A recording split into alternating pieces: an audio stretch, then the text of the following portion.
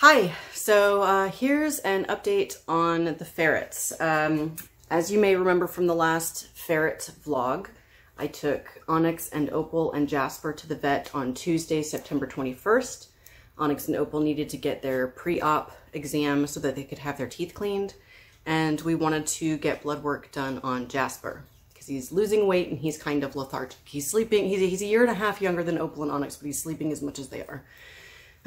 so for my fellow ferret parents, if you didn't already know this, anytime you take your ferret in for blood work, you should go ahead and pick up their food and not let them eat for about four hours before their appointment. I did call and ask if Jasper needed to be fasting for the blood test, and they said no. Then they ran the blood work, and then they were like, oh, we need a fasting glucose level test. And it's like, so when I called and said, does Jasper need to be fasting? And you guys said no, the answer was actually yes. So just for future reference, always fast your ferret for about four hours before the appointment so that if they want a fasting blood glucose test, they can do it and get good results. Now, anyway, so that was Tuesday, September 21st. The following Sunday, um, which was September 26th, sorry, I have to check my notes over there, um, we were cleaning the ferret room. We trimmed all their nails. And then, you know, when you trim their nails, nails go flying. So we're like, let's trim their nails and then we'll go ahead and clean the ferret room.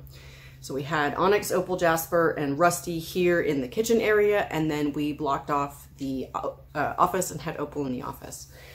So we were cleaning, and then we hear screaming.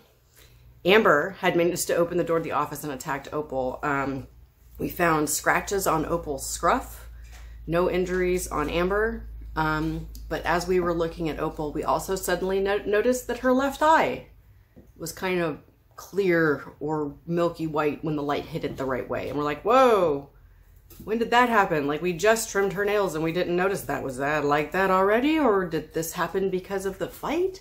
But there was no like injury around the eye or anything. Um, so it just looked like her eye suddenly turned white. So we talked to the vet and she said it can seem to happen pretty quick sometimes. Um, and, you know, she didn't notice it on Tuesday, but it's possible that it had developed in the interim in that time.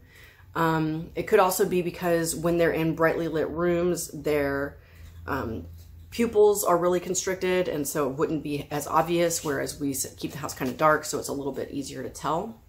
Um, but as time, as the weeks have gone on now, the white of her, her, her, left eye has gotten more and more white and it's gotten more and more obvious. Um, but there's no bulging or irritation or anything like that. So the vet says it's fine as long as it continues to stay looking like that. Um, if it does start to bulge or look irritated or anything, then we need to contact her. So that was that Sunday. Then we took um, Opal and Onyx to the vet for their teeth cleaning on October 1st. That was a Friday. And they did very well um, out of a score from one to four, one being very good and four being really nasty teeth. They had all ones and twos on all their teeth. Opal is missing her front two bottom teeth. Um, I don't, I think I knew that and had forgotten. I think that's been like that for a while. Um, and then Onyx had some tip wear on both of her top canines. But other than that, they had ones and twos for all their teeth, so they're very clean. Just a little bit of, um, you know, gum receding in some places. But keep in mind, they're four-year-old ferrets, and this is the first time we've had to get their teeth cleaned because we use Healthy Mouth water additive. So that's really good that you know, this is their first teeth cleaning ever. They're four years old and they got all ones and twos and had very little buildup. That's really good. So really happy with Happy Mouth, Healthy Mouth. Uh, highly recommend it if you can get it. Um, you can only get it online, but they make it for cats and dogs and horses, and we use the version for cats for our ferrets. Okay, so then that was Friday, October 1st. Now, we did try to make an appointment to get Jasper's fasting blood glucose test. Um, however, uh, I don't want to have to drive to Tampa again to get that done. Obviously, we can get that done at our local vet. But Amber and Rusty also have to go in for their rabies vaccines here shortly. So I was like, okay, so let's make an appointment for them. So the soonest we could get them in for the rabies vaccines was Friday, October 22nd. So that's going to be next Friday as of the time that I'm recording this. Um, so it kind of sucks that we had to wait an extra month to get the glucose test done and we would have had that information had I just had him fast before I brought him in. So now I know, always fast your ferrets before you bring them in for blood work. Even if they say that's not necessary, just do it.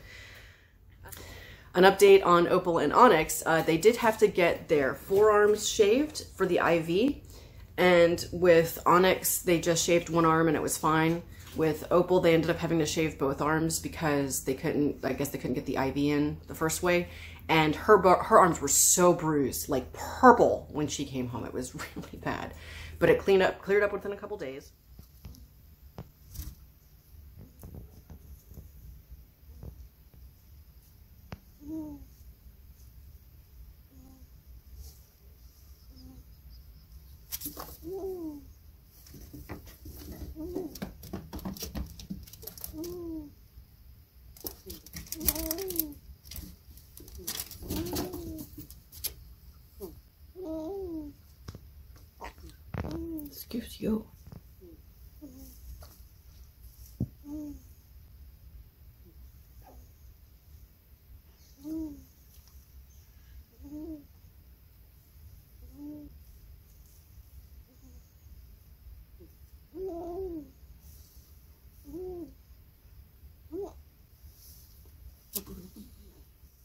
Now they both have little shaved arms.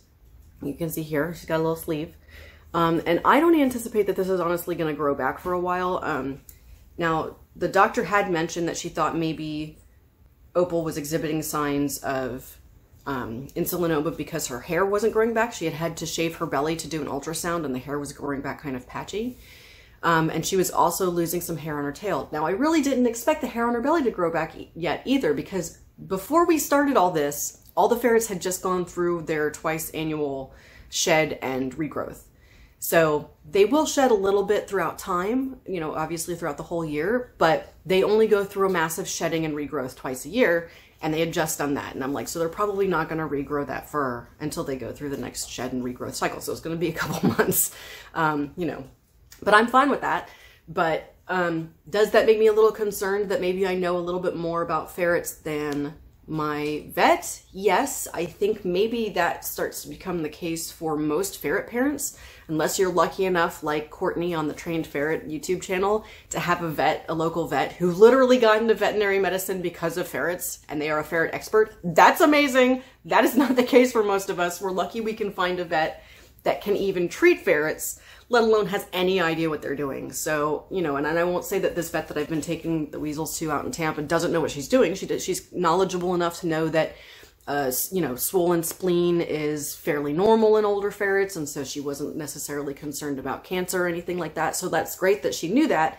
But like, I'm kind of wondering why she didn't know that ferrets go through a molt and regrowth of fur twice a year and why she was therefore surprised that the hair wasn't really growing back on Opal's belly and was growing back kind of patchy. And it's like, yeah, probably, you know, it'll be another three months or something before it actually grows back. So I don't know. I think just as time goes on, you learn so much about ferrets and end up having more experience with all the various things that ferrets can go through than any single non-ferret specialist vet has ever experienced. So I think probably within the next five years or something like that, I'm going to become more of an expert than most of the vets in the state. so we'll see. We'll do another update after um, next Friday when we get the results of the fasting blood work for Jasper and then, you know, just a rabies shot for Amber and Rusty, so it should be totally fine. Yes, come here, my little waffle. Show your cute face, Miss Amber Skywaffle. Look at that cute face. Is there nothing so cute? Mm. They need their nails done again today. That's going to happen tomorrow, probably. Anyway, so, yes, ferret update. Now you can see some ferrets instead of my, my face. Yes, much better. Okay, thanks for watching.